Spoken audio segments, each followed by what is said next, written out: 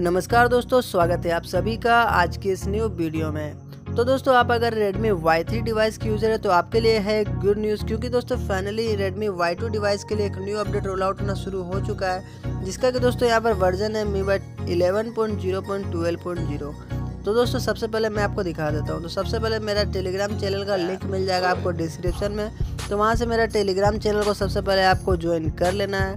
उसके बाद दोस्तों, आपको टेलीग्राम चैनल में यहाँ पर डाउनलोड लिंक मिल जाएगा।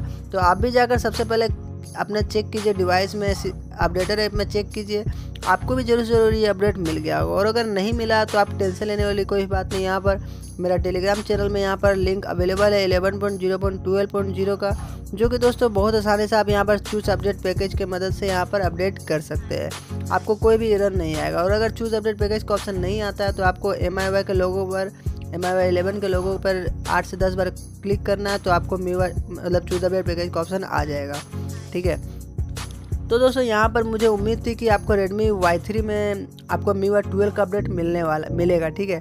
क्योंकि मैंने कुछ दिन पहले, दो तीन दिन पहले वीडियो भी बनाया था, जिसमें कि मैंने आपको बताया था कि इसी मंथ या फिर दस तारीख तक हो सकता है आपको मी वाई ट्वेल्व का एक अपडेट सोमी की तरफ़ से दिया जाए, ठीक है?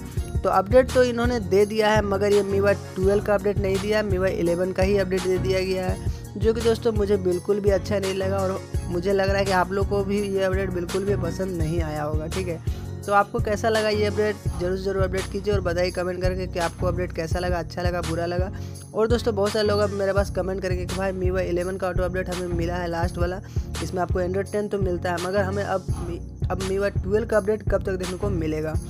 तो दोस्तों मैं आपको बता दूँ कि सोमी का कोई भी अपडेट दिया जाता है सोमी की तरफ़ से तो लगभग डेढ़ से दो महीने का बीस तो रहता ही है, ठीक है? डेढ़ से दो महीने का डिफरेंस तो रहता ही है हर अपडेट में।